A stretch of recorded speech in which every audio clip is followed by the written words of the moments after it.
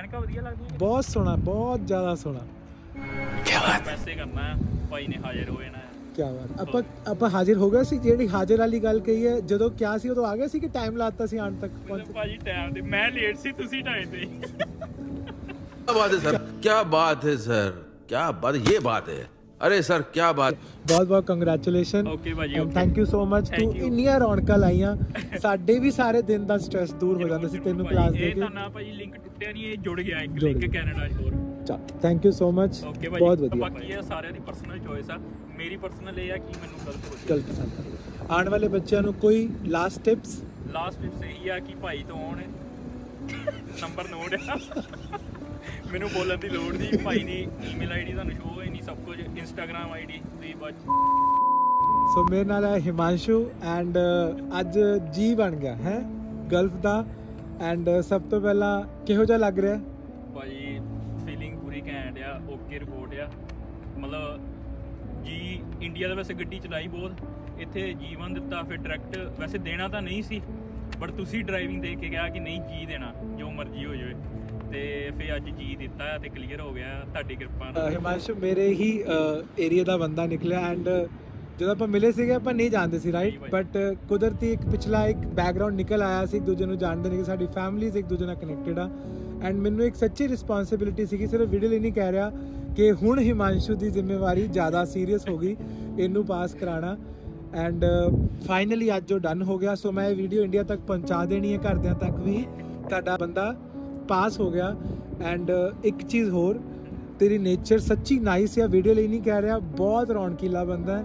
ਜਿੰਨੇ ਕਾਰ 'ਚ ਬੰਦੇ ਬਹਿੰਦੇ ਨੇ, ਸਾਰੇ ਕਹਿੰਦੇ ਨੇ ਕਿ ਇਹਨੇ ਰੌਣਕ ਲਾਤੀ ਐਗਜ਼ਾਮਸ ਦੇ ਸਟ्रेस ਤੋਂ ਬਚਣ ਲਈ। ਤੈਨੂੰ ਨਾਲ ਰੱਖਣਾ ਮੈਨੂੰ ਲੱਗਦਾ ਜ਼ਰੂਰੀ ਹੈ, ਸਾਰੇ ਟੈਸਟਾਂ ਲਈ। ਬਹੁਤ ਚਿਲ ਮੋਡ ਆ, ਬਹੁਤ ਖੁਸ਼ ਮਿਜ਼ਾਜ ਬੰਦਾ ਹੈ ਤੂੰ। ਐਂਡ ਬਹੁਤ ਸੱਚੀ ਵੀਡੀਓ ਲਈ ਨਹੀਂ ਕਹਿ ਰਿਹਾ, ਮੈਨੂੰ ਵਾਕਈ ਖੁਸ਼ੀ ਆ ਕਿ ਹਿਮਾਂਸ਼ੂ ਦਾ ਕੰਮ ਡਨ ਹੋ ਗਿਆ ਪਾਸ ਹੋ ਗਿਆ। ਐਂਡ ਮੇਰੇ ਲਈ ਇੰਪੋਰਟੈਂਟ ਸੀ ਕਿ ਬਹੁਤ ਜ਼ਿਆਦਾ ਕਿ ਮੈਂ ਇੰਡੀਆ ਵਾਲਿਆਂ ਨੂੰ ਕਹਿਣਾ ਵੀ ਆਪਣਾ ਬੰਦਾ ਟ੍ਰੇਨਿੰਗ ਦੇ ਰਿਹਾ, ਆਪਣਾ ਬੰਦਾ ਕਲਾਸ ਲੈ ਰਿਹਾ ਤੇ ਪੇਪਰ ਨਹੀਂ ਕਢਾ ਪਾਇਆ। ਮੇਰੇ ਲਈ ਉਹ ਸੱਚੀ ਮੁੱਛ ਦਾ ਸਵਾਲ ਸੀਗਾ ਓਨੈਸਟ ਓਨੈਸਟ ਸੋ ਕੁਝ ਕਹਿ ਰਿਹਾ?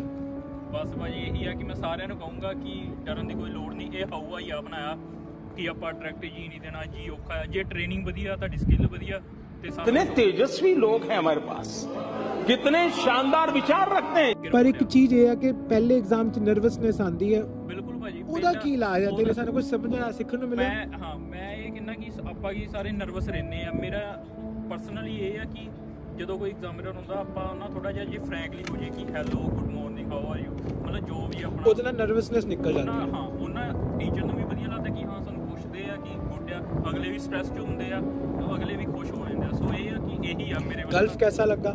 ਗਲਫ ਭਾਈ ਬਹੁਤ ਵਧੀਆ। ਗਲਫ ਦਾ ਰੂਟ ਬੈਸਟ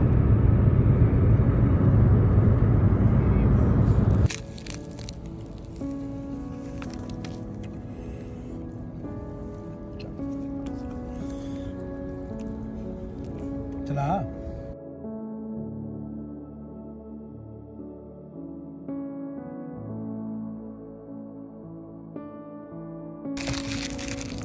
ਚੱਕ ਬ్రో